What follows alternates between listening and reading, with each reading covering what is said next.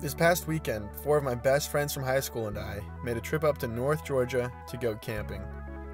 Despite all of us going off to separate schools following graduation of high school, we've still remained best friends. Hey, what's up? I'm Nico. Hey, I'm Sebastian. Hi, I'm Andrew. Hey, what's up? I'm Nate.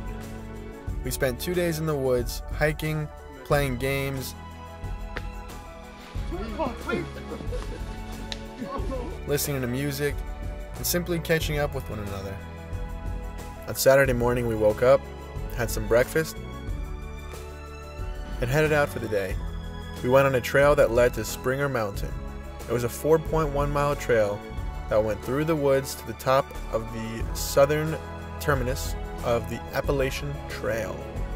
Along the way, we laughed and enjoyed the views of changing leaves as well as each other.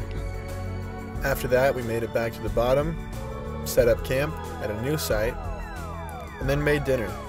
We had mac and cheese and soups and sat around the fire again while listening to music. Eventually, we got up and did a one mile trail to a waterfall where we took turns going underwater. We made it back, and Sunday morning, we woke up, cleaned up, headed out, and went to Amicalola Falls State Park where we had breakfast at the Maple Restaurant. Then we all parted ways and said, see you again soon.